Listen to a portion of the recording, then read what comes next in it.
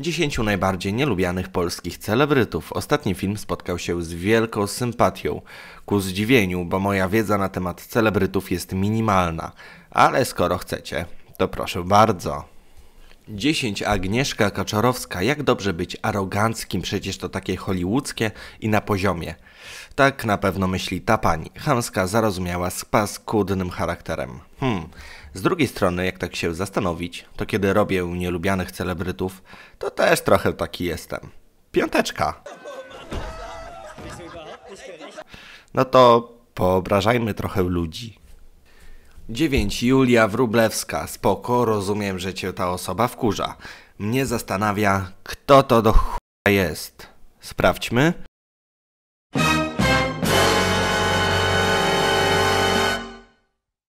Yy, że stripteaserka, tak? 8. Marcin Najman. Nie mam pojęcia, czemu go obrażacie. Znacie kogoś innego, kto daje się bić dla waszej rozrywki? Poza tym, jaki inny zawodnik jest obiektem tylu żartów? 7. Maciej Sztur. Miałem wątpliwości, czy pana tu umieszczać. Mam w planach zupełnie oddzielny odcinek o polskich politykach, a czy to aktor, czy polityk, czy kurde działacz państwowy, to ja już nie wiem.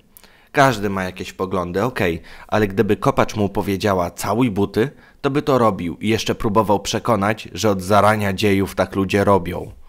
6. Julia Wieniawa. Cholera, gwiazdeczka się znalazła, celebrytka wielka. Szczerze, kto gdyby nie ten komentarz, to nawet bym nie wiedział, że to niby gwiazda jest. Moja wiedza o niej ogranicza się do tego, że nie ma cycków.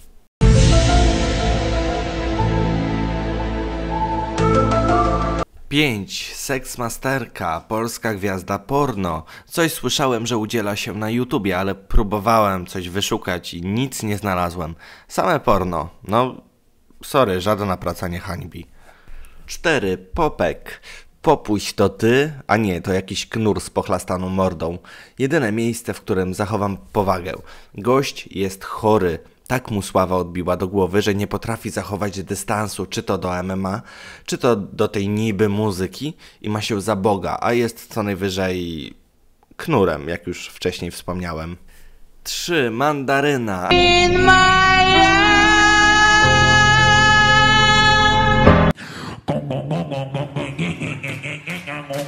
Nie, dobra, bądźmy poważni. Pani przed występem po prostu ciężko pracowała i już kodziła sobie gardło.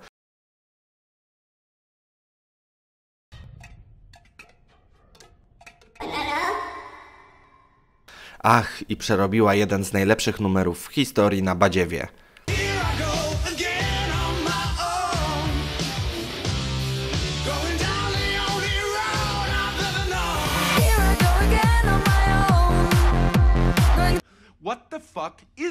Wiem, gdzie powinna się za to znaleźć.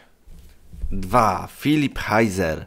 Chciałbym zażartować, ale się troszkę boję. 1. Tomasz Karolak, czyli przykład tego, jak z dna można spaść na jeszcze większe dno, a potem jeszcze większe i największe. A tak serio, jak to możliwe, że ktoś, kto jest dobrym aktorem, bo nie wątpię ani trochę w jego umiejętności, zagrał w tylu słabych filmach i gra w kolejnych słabych filmach i chce grać dalej w słabych filmach, żeby odnieść sukcesy, żeby dalej grać w słabych filmach. Jak?